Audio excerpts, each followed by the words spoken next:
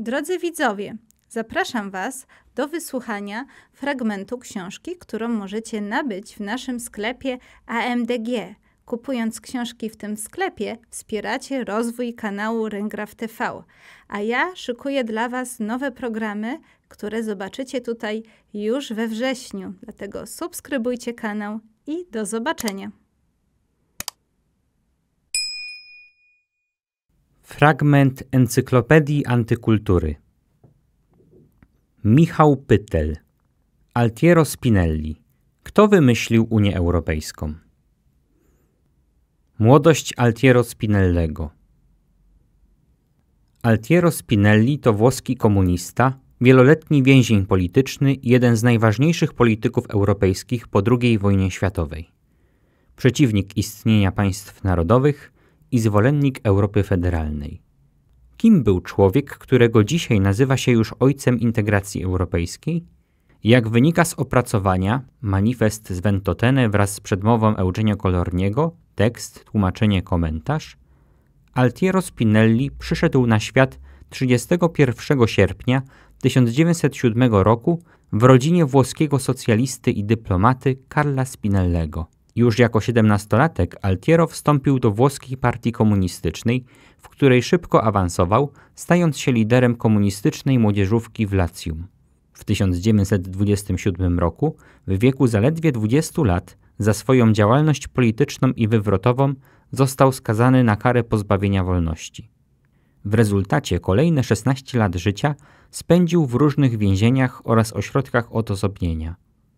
Jako człowiek więziony za posiadane poglądy polityczne, większość swojego wyroku Spinelli odsiedział w towarzystwie innych więźniów politycznych o podobnych przekonaniach.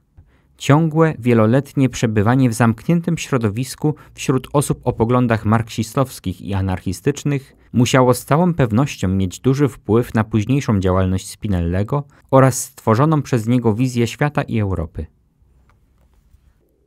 To właśnie jako więzień przetrzymywany na wyspie Ventotene do spółki z innym skazanym, Ernesto Rossim, w 1941 roku Spinelli napisał najważniejsze dzieło swojego życia o wolną i zjednoczoną Europę, zwane dzisiaj Manifestem z Ventotene.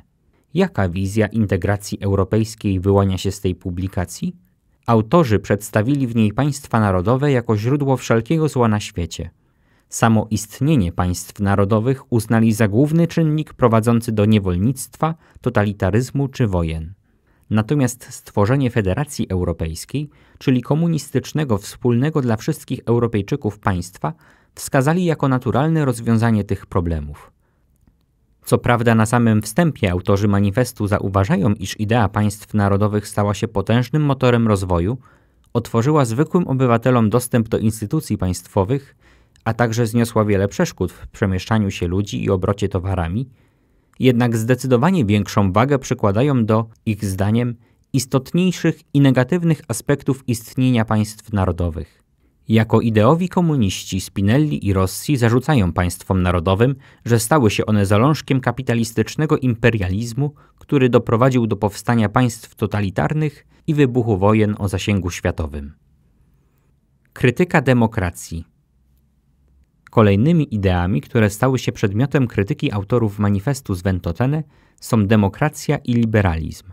W ich wyobrażeniu przekonanie o równym prawie do określenia woli państwa przez wszystkich obywateli doprowadziło do konfliktu pomiędzy grupami uprzywilejowanymi a klasami pokrzywdzonymi. Według ich opinii konflikt ten miał sprawić, iż w celu utrzymania swoich przywilejów pasożytnicza warstwa właścicieli ziemskich i rentierów wsparła totalitaryzmy i spowodowała nastanie porządku ekonomicznego, w którym zasoby materialne i siła robocza nie służą zaspokajaniu podstawowych potrzeb i rozwojowi ludzkości, a jedynie spełnianiu zachcianek bogaczy gotowych zapłacić za nie największą cenę. Co ciekawe, w tym kontekście Altiero Spinelli i Ernesto Rossi skrytykowali również prawo dziedziczenia. Europejski federalizm Komunistyczna utopia polegająca na absolutnej równości i braku własności prywatnej w zamyśle Spinellego musi opierać się na zniszczeniu samodzielności europejskich narodów. Wspólna waluta, rynek, parlament, polityka zagraniczna i armia mają zagwarantować federacji całkowitą władzę nad obywatelami. W tej wizji każdy zbuntowany naród może być zmuszony do posłuszeństwa głodem lub użyciem siły. Najciekawszy jest sposób, w jaki Altiero Spinelli chce osiągnąć swój cel. Drogą do wspólnego europejskiego państwa okazuje się socjalistyczna rewolucja pod wodzą partii komunistycznej. Na jej czele ma stać silny przywódca, ignorujący głos obywateli i wybory. Na demokrację, zdaniem Spinellego, przyjdzie czas, gdy wszyscy będą już wiedzieli, że chcą głosować na partię komunistyczną i wspólne państwo. Stany Zjednoczone Europy, według postulatów zawartych w manifestie z Ventotene, muszą opierać się na wspólnej dla wszystkich sfederowanych państw konstytucji, dysponować armią, która zastąpi armie narodowe, wyzbyć się dążenia do gospodarczej samowystarczalności poszczególnych krajów oraz zostać wyposażone w organy i narzędzia przymusu służące do egzekwowania narzuconego porządku na całym swoim terytorium. Autorzy nie skupiają się na zagadnieniach dotyczących organów konstytucyjnych. Potwierdzają za to przywiązanie do zasad takich jak parlamentaryzm, niezależne sądownictwo, wolność prasy i zgromadzeń oraz możliwość uczestnictwa w życiu publicznym przez wszystkich, jednak nie określają szczegółów dotyczących praw i mechanizmów, które miałyby zapewnić przestrzeganie tych wolności. Plan Spinellego Pod koniec II wojny światowej Altiero Spinelli opuścił więzienie i kontynuował karierę polityczną, zakładając w 1943 roku Ruch Federalistów Europejskich, którego celem było propagowanie idei zjednoczenia Europy. W latach 50. aktywnie angażował się w działania na rzecz pogłębienia integracji, między innymi wspierając projekt utworzenia wspólnej europejskiej armii, który zainicjowali francuscy politycy. Deklarowanym celem Europejskiej Wspólnoty Obronnej miało być uniemożliwienie odrodzenia się niemieckiej armii i zapewnienie bezpieczeństwa na kontynencie. Ku rozczarowaniu Spinellego idea wspólnej polityki obronnej finalnie upadła z powodu braku dostatecznego poparcia.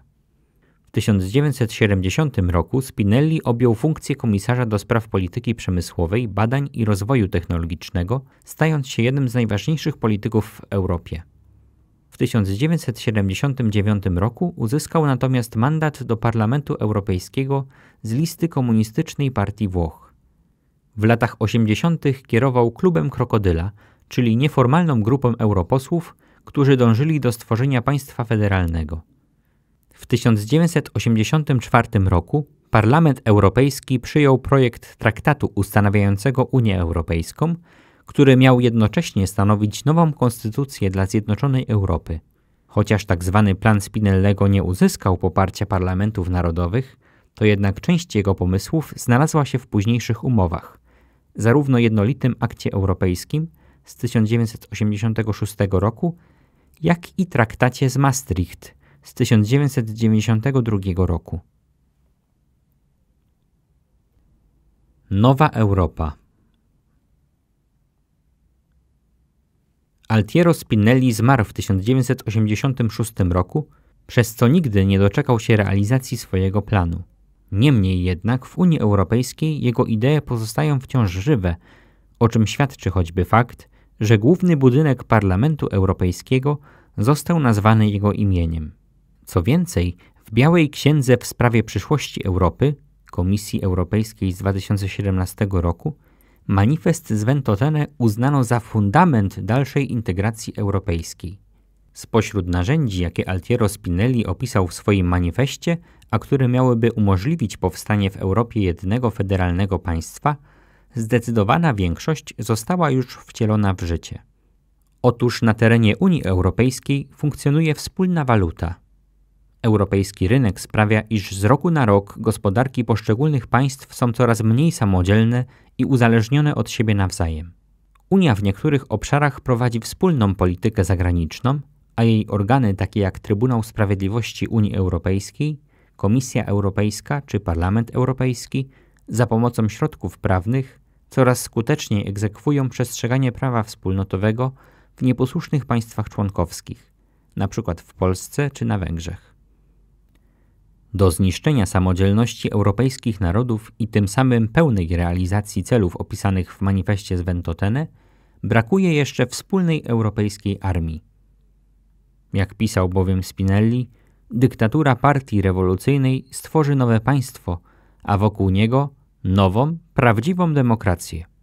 To właśnie do takich zmian dążą dzisiaj politycy w Europie. Jeden z nowszych wątków w tej sprawie dotyczy lasów, a mianowicie zapowiedzi Parlamentu Europejskiego, który pozytywnie zaopiniował pomysł przeniesienia leśnictwa z kompetencji krajowych do tzw. Tak kompetencji dzielonych między UE a państwa członkowskie. Podsumowanie. Altiero Spinelli był włoskim komunistą oraz jednym z najważniejszych polityków europejskich po II wojnie światowej, który napisał manifest z Ventotene, czyli program zjednoczenia Europy. Za źródło wszelkiego zła na świecie, jak wojny czy totalitaryzm, Altiero Spinelli uznał istnienie państw narodowych, które w jego projekcie należy zastąpić jednym ponadnarodowym państwem. Plan Spinellego nie wszedł w życie, jednak większość postulowanych przez niego założeń została już zrealizowana. Jego wizja jest traktowana w Unii Europejskiej jako fundament dalszej integracji. Chodzi o stworzenie państwa federalnego, które stoi na własnych nogach i dysponuje europejską armią zamiast armiami narodowymi. Trzeba ostatecznie skończyć z gospodarczą samowystarczalnością, która stanowi kręgosłup totalitarnych reżimów. Potrzeba wystarczającej ilości organów i środków, żeby w poszczególnych państwach związkowych wprowadzić zarządzenia wydane w celu utrzymania porządku ogólnego. Altiero Spinelli, komunista, ojciec integracji europejskiej. Czytał Michał Miodek.